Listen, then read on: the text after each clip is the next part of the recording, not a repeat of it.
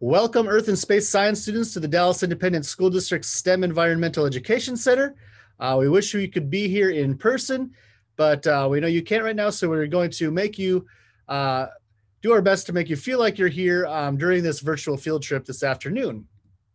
If you are watching this and have not registered for this field trip yet, you can still do that by going to www.tiny.cc slash EEC register. Once you get there, you can get yourself or your class registered for this field trip. We just use that information for our attendance purposes. And today's field trip is going to be about plate tectonics. So during this virtual field trip, students will discover that plate tectonics is the global mechanism for major geological processes. So we're going to start off today by discussing seafloor spreading, ocean ridges, rift valleys, and subduction zones with Mrs. Fuller. Then we're going to discuss earthquakes, volcanoes, and mountain ranges with, with Ms. Ramirez. Then we're going to calculate the motion history of plate tectonics um, with me. And last uh, but not least, we are going to discuss convergent, divergent, and transform plate boundaries with Ms. Nash. While we're doing all of that, you can ask us questions, um, but since this is a virtual field trip, the way you ask questions is by going to www.tiny.cc slash EEC dash question dash answer. And once you get there, you're going to fill out a very short form to submit any questions you have related to plate tectonics for us. We will do our best to answer all of your questions for you in the time that we have with you today. Uh, so please do ask questions. And without further ado, I'm going to stop sharing my screen here and turn it over to Mrs. Fuller, who will get us started with plate tectonics.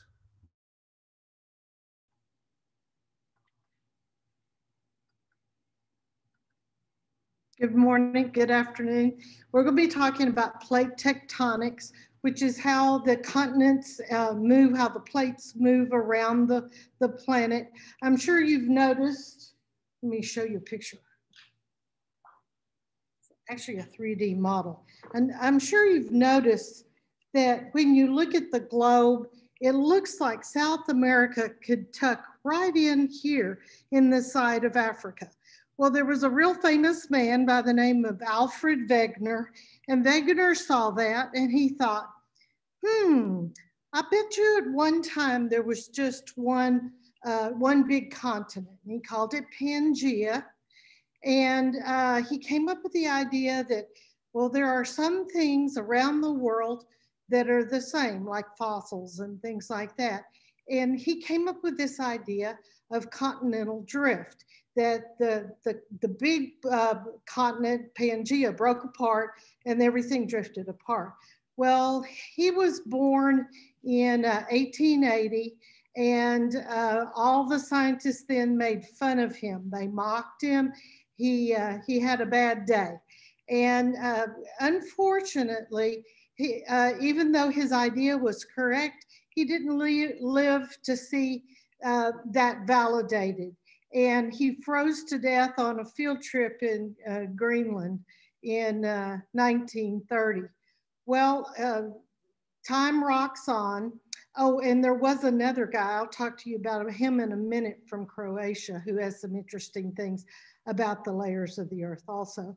So um, in the 1950s, um, they, they came up with the idea of sonar and they started mapping the ocean floor. Uh, and there was a, a, wonderful woman scientist. Her name was Marie Tharp. And Marie Tharp wanted to go on this big ocean adventure with all these other scientists so that she could also help uh, work with the sonar and help map uh, the ocean floor. And they wouldn't let her go. They said, women can't go on a ship, it's bad luck. Uh, you know, well, there you go. So anyway, uh, this is a wonderful book about her. Um, Ocean Speaks, and I recommend it highly. It's a picture book, but it gives you some really good ideas about what happened to her. Well, what she did was they would send the data back to her, and she was a cartographer, and she would she made a map of the floor of the ocean using the data that these guys gathered. Well, guess what? She said that the sea floor was spreading, and that the, uh, there were great mountain ranges taller than anything on land, and they made fun of her and made her redo the maps. And when she redid the maps, it came out the same. And there was a scientist who believed in her. Everybody else made fun of her, just like they did Alfred Wegener. And this guy's name was Jacques Cousteau. And Jacques Cousteau said, I'm going to send a submersible down and check this out for you. And what do you know? Her maps were correct. And Marie Tharp uh, really wasn't given credit for what she did, but she did this work in 1957, but it wasn't until the 1960s that these ideas were embraced, that the sea floor is broken in, in the oceans and it's starting to spread. Magma's coming out and forming more land and pushing them apart and forming these big mountain ranges. So uh, that's sea floor spreading.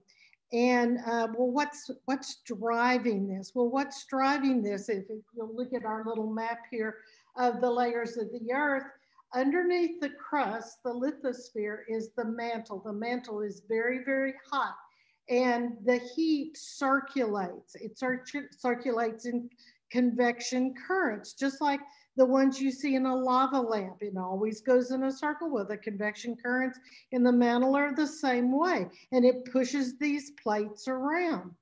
And uh, so what happens when one plate pushes into another?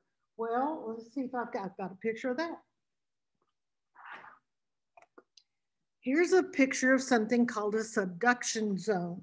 This is oceanic crust, which is denser than a continental crust. So when the, the two meet, the denser crust goes underneath, but it pushes on the continental crust. So two things happen. When it goes down like that, that's called subduction. But that pushing part causes mountains to form. This is how the Himalayan mountains were formed in India and Nepal.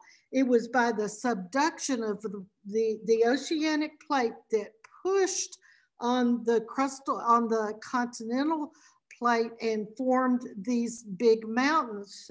That's called orogeny. So subduction causes orogeny. Okay, now the next one um, we're gonna look at is going to be uh, Great Rift Valleys.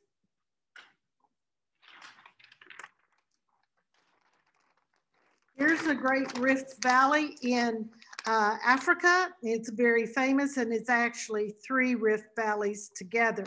And what happened was the big continental plates that formed Africa are now starting to separate. And they're separating right along this line right here, causing this huge rift valley. And guess what's underneath it, pushing it? Magma and the magma comes up and forms volcanoes and it puts a lot of methane in the, the lakes there and if there's ever a big earthquake, it might let a lot of poisonous gases loose. So rift valleys are very interesting, but this is a, an old plate that's now breaking apart, very similar to what we see in sea floor spreading. Okay, now we're gonna talk about something called hotspots. Hotspots are big plumes of magma in the in the, the mantle that are real close to the top of the lithosphere.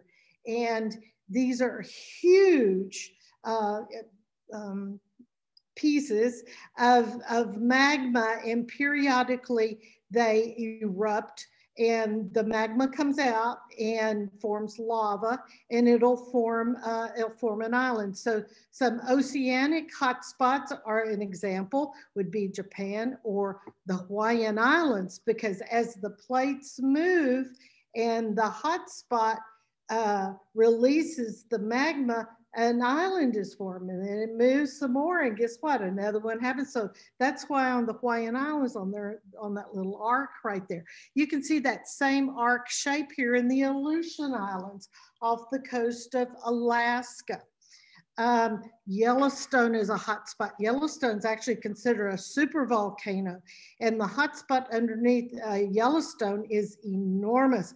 And if it blows, it's going to affect the entire United States, not just Wyoming. And the last one we're going to talk about are hydro, uh, hydrothermal vents. And these are deep in the oceans, very dark down there. And these are in trenches and seawater gets in and gets superheated by the magma that's real close to the surface and it spews out and it's and it comes out at 700 degrees. But it's not boiling and the reason why it's not boiling is because the pressure is so intense because it's so deep in the ocean that there are organisms there that get their nutrients and their energy from it, and it's called chemosynthesis. You know, the plants we know here uh, where we are, they, they make sugar with light, photosynthesis. Well, these guys are like worms and they get their their source of energy from the chemicals that come from this superheated water. It's very interesting. The last thing I'm going to tell you about real quick is our Croatian scientist. His last name is Mo, um, Mohorovičić. And this was a big deal in the 1960s. Um, he uh, came up with an idea of a divergent zone uh, uh, in between the, the, the lithosphere and the mantle. It's called a discontinuity. So it's at the very bottom of the lithosphere and it's right between the lithosphere and the, the mantle. And it's called the Mohorovičić discontinuity. And there was a time in the 1960s where scientists thought that they could drill down to it and find out what was in it. And it was a real big deal. It was all in the news. Everybody was excited. But after about four years, there was mismanagement of the project and a lot of politics, and they abandoned it. But the project was called Mo Hole, H-O-L-E, but it was named after Mr. Mohorovičić. So that those are just a few high points of um, plate tectonics. And I'm going to turn it over to Mr. Broughton if you have any questions. Thanks. Thank you, Mrs. Fuller. The question that came in was, uh, how do scientists know um, where hotspots are and where magma is is coming up through the earth and and what is inside the mantle. Um, and mostly um, scientists use uh, seismographs to look what to look at what happens when earthquakes um, occur. Now earthquakes are are um, happening all over the planet um, where the especially where the edges of these plates are. And uh, every time there's an earthquake it sends out seismic waves, and then scientists observe those waves to see where they are bent, uh, reflected, sped up, or delayed by various layers um, inside the Earth because, uh, like Mrs. Fuller mentioned, we cannot drill down to take samples or, or directly observe things. We have to use um, tools like seismographs to see those waves. All right, now we're going to explore uh, earthquakes, volcanoes, and mountain ranges with Mr. Ramirez. Hello, my name is Mr. Ramirez, and in this segment, uh, we're going to be focusing on how does plate tectonics account for geological processes and features, uh, specifically pertaining to earthquakes, volcanoes, and mountains. Uh, so to do that, we're going to look at a little uh, slide of some pictures and some videos um, as we explore some of those features and processes. Um, so I'm going to go ahead and share my screen with you guys, and then we will start the presentation. Um, so the first thing we're going to talk about really quickly is just a quick review. Mrs. Fuller already talked a little bit about it, and that's just plate tectonics. Um, so as she men mentioned, um, a tectonic plate is just a large piece of the Earth's lithosphere. Um, and it's important to note that it is not static. So they are constantly moving. Um, each plate will move and interact with the other plates. And specifically in this segment, we're going to be talking about the formation of mountains, volcanoes, and earthquakes as a result of that tectonic plate. And so, just a couple of cool things that I learned as I was doing research for this segment um, was that there are actually extinct volcanoes here in Texas, and one of them is Pilot Knob, um, and that is the largest extinct volcano in Central Texas, and it's it's been inactive for millions of years. Um, but if you go visit there, you can actually still see the remains of its lava flows um, still evident within some of, some of its rock and soil structure. And then over here we have Davis Mountains, which I have been to. And Davis Mountains um, was actually formed from volcanic activity about 25 to 30 million years ago. And that, um, if you've never been, I highly recommend it. it is very beautiful out there. Um, and so the next thing we're going to take a look at um, are plate tectonics and their role in mountain formations. Uh, so generally mountains will form from the convergence of two plates. So convergence just means that these two plates are colliding um, into one another. Uh, so for example, uh, if we take a look at the Himalayas, uh, the Himalayas were uh, created when the Indian plate collided with the Eurasian plate. And again, this took place a long time ago. Um, and that is what produced the Himalayas. So I'm gonna show you guys a cool little fly through tour of the Himalayan mountains from Google Earth. Uh, so it's on my bucket list to go see, uh, visit Nepal in that area one day. So here's the little video. Hopefully it plays.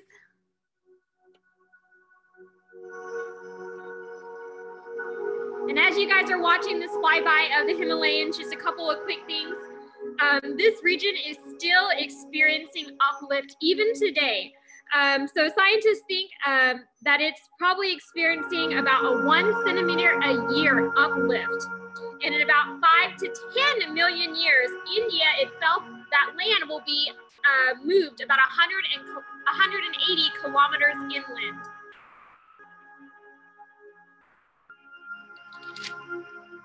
I'm gonna go ahead and stop that there. Uh, but if you're interested in seeing more of it, you can always just Google uh, Google Earth Himalayan mountains.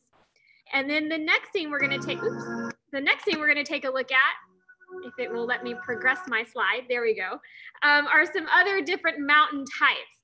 Uh, so really quickly, I just wanna see if you observe and look at these four different pictures, see if you can match the picture with the mountain type.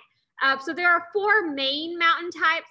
Um, and we there are volcanic mountains, dome mountains, folded mountains, and fault block mountains.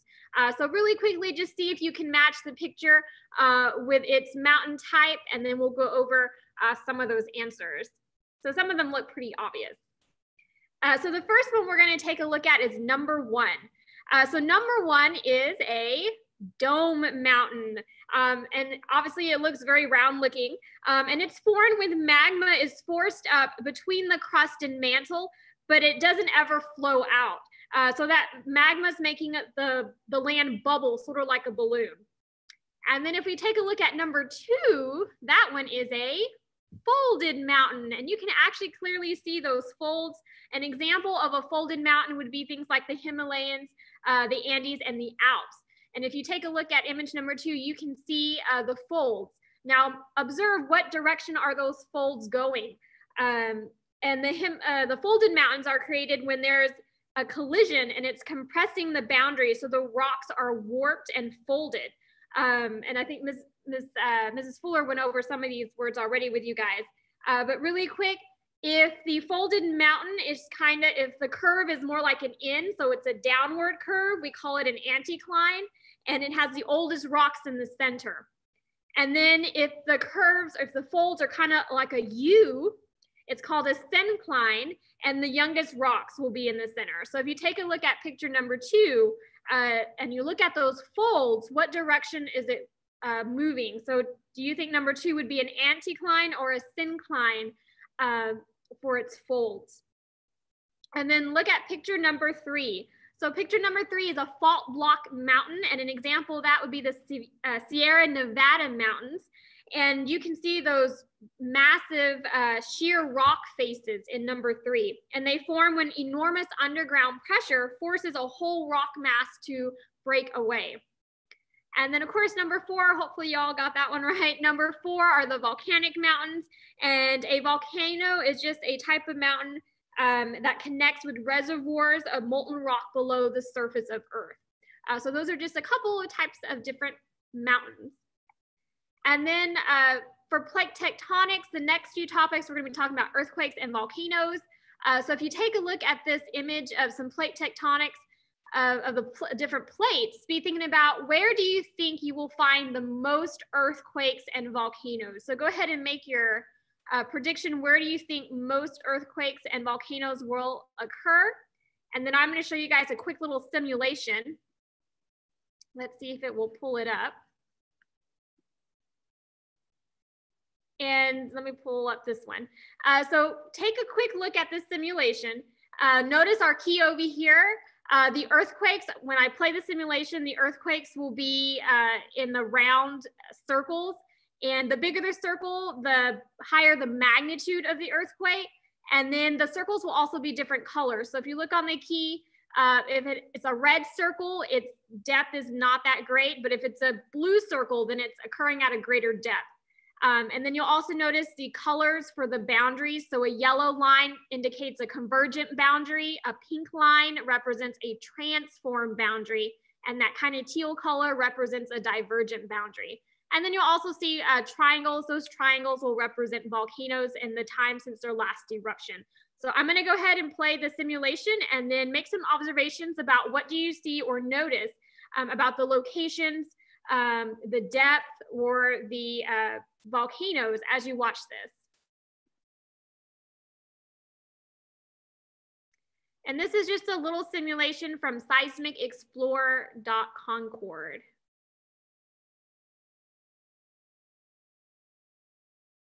So hopefully guys, we're able to notice that most of our earthquakes and volcanic activity occur along or near those plate boundaries. Uh, so we're gonna go back to our presentation and then we'll continue on. Uh, so those presentation, that little simulation was for uh, earthquakes and volcanoes. So now we're gonna talk about those volcanoes. Uh, volcanoes are usually located along divergent boundaries, but can also be formed along convergent boundaries when there's subduction occurring. And you'll learn more about the, the different types of boundaries later on um, in this segment. So here's a little quick uh, video to explain uh, the process of volcanoes forming. Again, our internet's been slow. It happens because hot rock rises, heated by the Earth's core.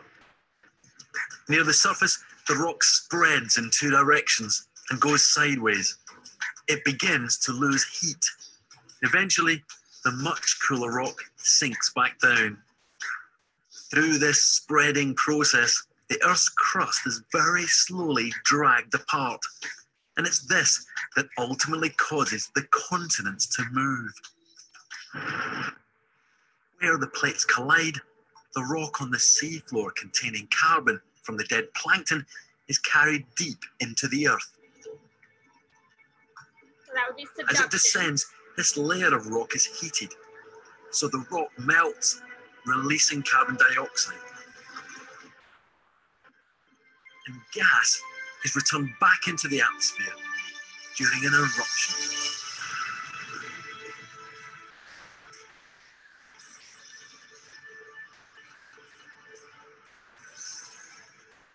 The remarkable cycle is complete. So that was just a little interesting video uh, to, for volcanoes. Oops, let me go forward. Um, the next thing we're going to look at are plate tectonics and their role in earthquakes. So earthquakes can occur along all plate boundary types, uh, but especially along transform plates. And transform plate boundaries are just when uh, two tectonic plates are sliding horizontally past each other. Um, so if we take a look here at this uh, graph, uh, see if you can interpret and analyze the graph. So what does the data indicate and what might be the cause? So hopefully you guys were able to notice that starting from around 2010, we are seeing a huge increase in the number of earthquakes in central US. Uh, so why do you think that might be? And then uh, just to tie this in more locally to you guys, since we're in Texas, um, back in the end of 2014, 2015, there were a whole bunch of small minor earthquakes that were reported in the Irving area. Um, so you can see from this data chart uh, that most of the earthquakes were rather small. So they were um, around two and a half or less uh, for their magnitude. So they were very small earthquakes, but that led scientists to wonder why is this happening? Uh, so uh, SMU, the city of Dallas, and the city of Irving actually installed 22 seismographs as a result of those 2014-2015 tremors. Um, they haven't quite yet determined an exact cause, um, but what do you think might be the cause of the increase of, of these earthquakes? And then here's an image of Texas. And on the left, you're seeing a diagram of Texas and some of the earthquakes that are natural. Some of them that the red dots are the earthquakes that are occurring near oil fields or whales. And then the yellow dots are spurious, meaning they don't have an exact cause that we haven't yet quite determined.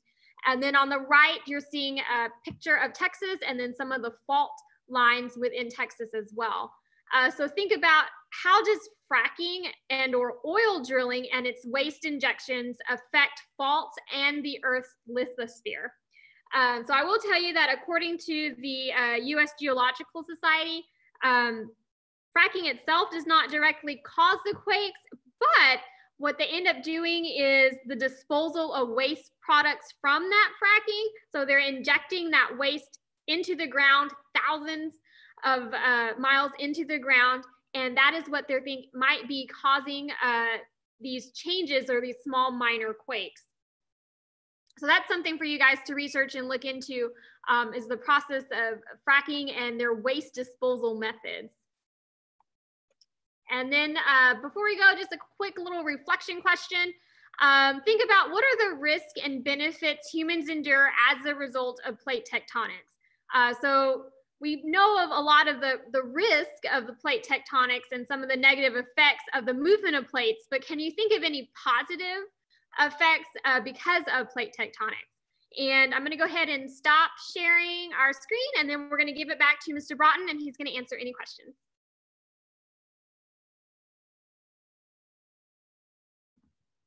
Thank you, Mr. Ramirez. Um, the question that came in is how many plates are there? And I am not exactly sure how many uh, plates there are altogether on Earth's surface because there are um, some really big plates and then some smaller ones. But I do know that there are uh, seven major plates, the African, Antarctic, Eurasian, Indo-Australian, North American, Pacific, and South American plates are the seven major ones, but then there are smaller ones too. And we're actually gonna look at a some plates again here. So I'm going to share my screen and uh, click present there. There we go. So you can see another picture of tectonic plates and you can see that some are very big. Like this is the North American plate. Some are kind of medium size. This is the uh, Nazca plate and then some are smaller. This is the Cocos plate. Uh, so there's lots of plates if you add up even the little ones like here's like you know one little one there and, and there i don't know the name of those this one is a smaller one that's called the juan de fuca plate um, but uh, i'm not exactly sure the, the total when you if you count the small ones too but plates do move and scientists use uh, formulas to calculate how fast they are moving so one way scientists do that is um, using a hotspot that created the Hawaiian Islands. And this arrow right here is showing what direction those plates move.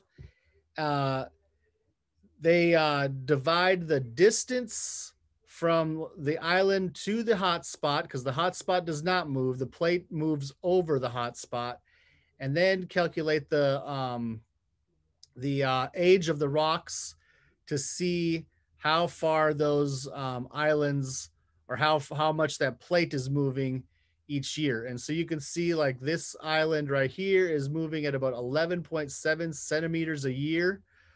Um, this island is 9.1 centimeters a year. This one is 8.9 centimeters per year. Just using a simple formula, rate of plate movement, um, or like the how fast the plate is moving, equals distance divided by time. They can do that uh, over a hot spot like where Hawaii is. And uh, I mean, if you're watching this on demand, you know, click pause and you can go to this website to um, to check that out. There's lots of different websites that um, use the Hawaiian Islands and the hotspot as an example of um, calculating the motion history of plate tectonics. But that is not the only way scientists calculate um, the motion of plate tectonics. So another way that they do that is uh, a little more complicated than than how Hawaii um, works. So the motion of a point of one tectonic plate relative to another plate can be described by the relative velocity vector v. The velocity v has a magnitude and direction and is given by the product of the angular velocity vector w and the plane rotation vector r. So the equation looks like this, v equals w times r. although it is it is not speed equals distance divided by time or or something as simple as that. It's a little more complicated. And the reason for that is is because we are describing motion on the surface of a sphere as opposed to a flat plane that's linear. Uh, remember, the Earth is a is a ball; it's a sphere, so you can't just use um, distance divided by time uh, for different things. So here here's the website um, where you can find more about this, uh, and here's one example of how that works. So if we want to know the relative velocity vector of the North American plate relative to the, to the Pacific plate, you can use the angular velocity vector of 0.00000078 degrees a year times pi divided by 180. And then the plane rotation vector is found using a point in the North American plate located a, at a rotation pole called the Euler pole in Quebec, Canada at 48.7 degrees north, 78.2 degrees west and another point on the Pacific plate near Parkfield, California at 35.9 degrees north, 102 or 120.5 degrees west. So you plug those numbers in that formula, and again, that formula just V equals W times R, or the the relative velocity vector equals the angular velocity vector times the plane rotation vector. So uh, v would equal 0.00000078 degrees a year times pi divided by 180. That's that's this part here is the W, and then times 6,371 kilometers times uh, sine of 33.28, um, I think degrees and I of course used the calculator to figure all to to um figure out these answers. We break it down. So pi divided by 180 is 0.0174, and then uh, the sine of 33.28 is 0.54873. So then you when you multiply this times this, you get this, and this times this is this. So when you multiply those together, you get 0.0000476 kilometers a year, which is the same as uh, 0.0476 meters a year, which is the same as 4.76 centimeters a year or 47.6 millimeters a year. So you can say the North American plate is moving at 4.76 centimeters a year comple- compared to that uh, Pacific plate that's right next to it. So that's a little bit more complicated than than just three plugging three numbers in. There's there's more to it than that. But how that works is uh, the Euler pole is right here in Quebec, Canada, and the North American plate is rotating around that pole. So that's not the North Pole, that's the Euler pole, and and that plate is going that way. Parkfield, California, is right here on the um, San Andreas Fault, and this is going uh, north. So while most of North America is moving kind of a southeasterly direction, this plate is moving uh, northwest. So they're they're moving opposite each other. Now here's a kind of a zoomed in um, uh, picture of that. That's California, and um, there is Parkfield, California. So the point that they were looking at is actually on this side of that San Andreas Fault. It's going this way, whereas um, the North American plate is going this way. And a kind of a challenge question that uh, we're going to do together is um, how long would it take the location near Parkfield to reach the pleasant location of San Francisco? So San Francisco is way up here. And of course, there's earthquakes happening all along this uh, San Andreas Fault. But this uh, this point eventually, over some period of time, is going to make its way all the way up to where San Francisco is now, and then San Francisco will be farther up, or who knows where by that many years. But how you figure that out is uh, we got we have to know how far it is from Parkfield to San Francisco, and it is about 200 miles.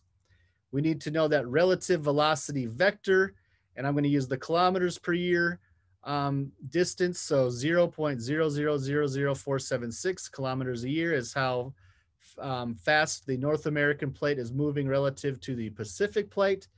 And we also have to know, since um, if we're going to do this in miles, but this is kilometers, we're going to have to change kilometers to miles or miles to kilometers. So the, the uh, conversion is one mile equals 1.6 kilometers. So 200 miles is equal to 320 kilometers. And then that distance divided by the kilometers per year velocity vector would give us 6,722,689 years. So it'll take 6,722,689 years for um, Parkfield to reach San Francisco. So it's it's going to take a long time, but it is happening, and scientists could figure that out using that formula.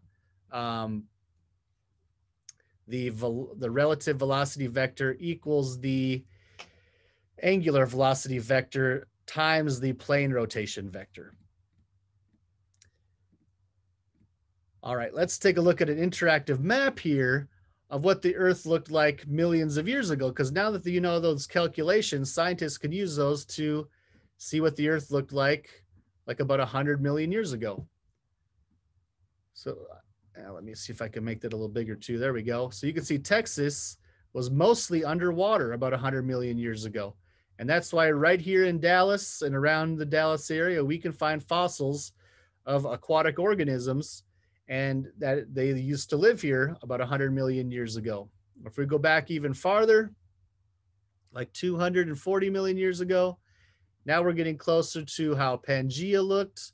You can see it's one all connected landmass. And there's Texas right there in that, according to this uh, simulation.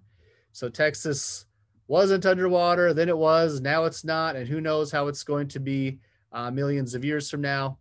Uh, you can see there, there's most of South America and most of Africa, um, and they kind of fit together like that puzzle piece. So we can, um, using these calculations, uh, um, estimate how the Earth looked millions of years ago. They also use fossil records um, and other other ways um, besides just the calculations. And um, if I stop this and go back to my presentation. Here is a picture of how Earth might look 250 million years into the future. So you can see that uh, South America and our and our Antarctica are going to kind of come together, and Nairobi is in Africa right now. So Africa's kind of up in there. There's North America, Europe, Asia, Australia. We'll have a another Pangea again.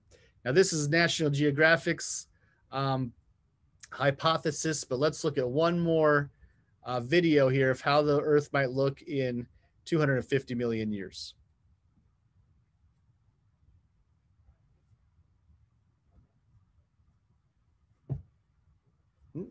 Sorry, I guess I got to click play.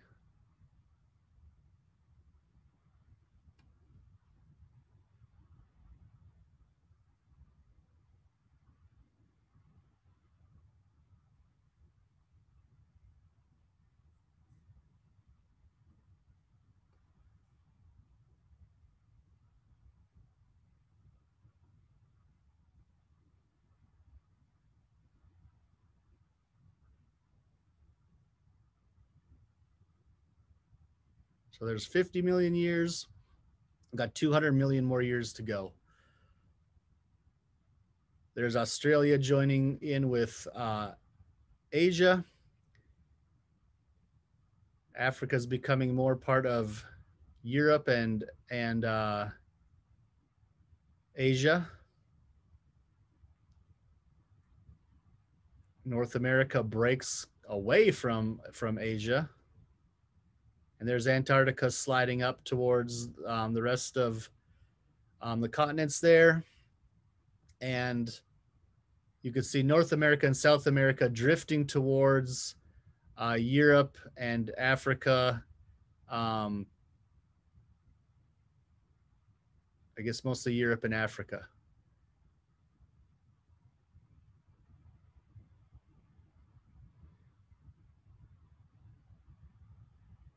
So now just 50 million more years to go, but the Pacific Ocean is getting huge.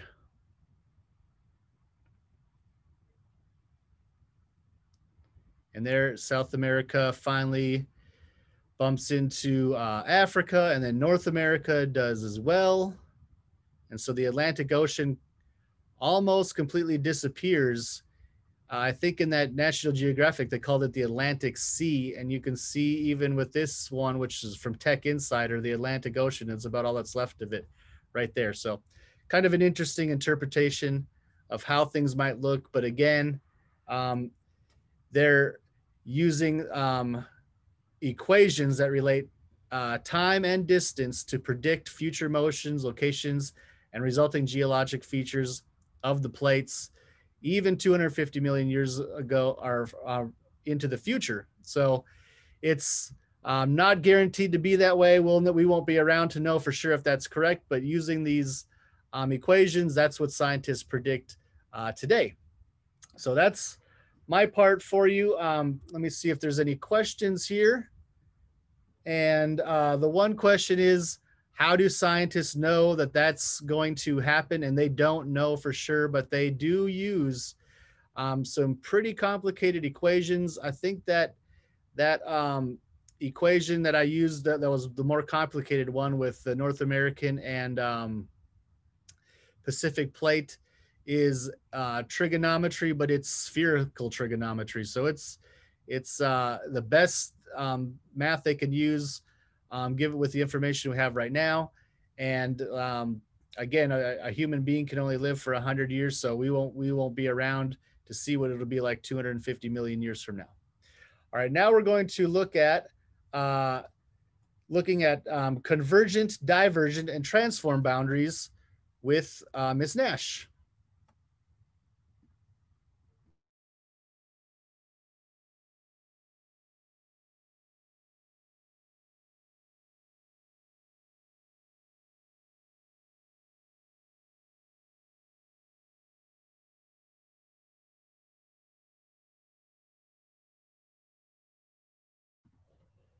We might have lost Miss Nash, I guess. Uh, but if we did, um, convergent boundaries are the ones where they are coming together. Uh, divergent. I'm back. I'm oh, sorry. I don't know what happened. Somehow you lost me. It's your fault somehow. Well, I used to have a bumper sticker on my car that said reunite Pangea, and it's going to happen, but I won't be around to see it. So here's Pangea, okay, the one big continent. And as we said, it broke apart and we have what we have today. And we have three classes of plates. We said this is what we're talking about. Uh, um, convection, and here's my lava lamp to show how convection is working under the under the interior of the earth. So when tectonic plates meet, we get those exciting things, the earthquakes, volcanoes, rifts, and mountains. Okay. And we have three kinds, convergent. They're converging, they're coming together. And if one plate is lighter in the ocean, in particular, ocean plates are lighter, they, they, we call subduction. It means one goes under the other. It just happens in the ocean. You get oceanic trenches, lava, magma can come up and create the ridges or volcanoes. When we have hmm, an oceanic plate meeting a continental plate, the oceanic plate will go under and the continental plate will go up. And that's what happens when we have like the Andes Mountains, that's what's happening along the edge of South America. When we have two continental plates colliding, it's what we have with, with India colliding with the Asian plate, then we have the giant mountain ranges of the Himalayas that this, this um, running surgery. We also have our divergent boundaries, meaning they're being pulled apart and on land, we get the rifts in the under the ocean, we get magma coming up and forming the ridges, like Mrs. Fuller mentioned, and we have the transform boundaries, so they're sliding across each other, and we get earthquakes like, like Mr. Um, Rotten was showing you. So we're gonna quickly, quickly see if we can do this, um, share some, just a few pictures of uh, these things happening in real life. Okay, really quickly. There we go. Okay. So again, we have our plates. And one kind of cool to look at is Iceland. See one's going right through. That's a divergent plate going right through Iceland. That has these gigantic rifts happening. Okay. And you can see all around, this is the ring of fire, the Pacific ring of fire, where we have all kinds of earthquakes like um, are you seeing here's the Himalayas being pushed up, convergent boundaries, continent to continent where the ocean goes under the continental um, plate crust, we have, again, more kinds of mountains. Divergent boundaries on land, we get these rift valleys forming. They can fill with water sometimes. And here's a really amazing one in Iceland, just being pulled apart right down the center.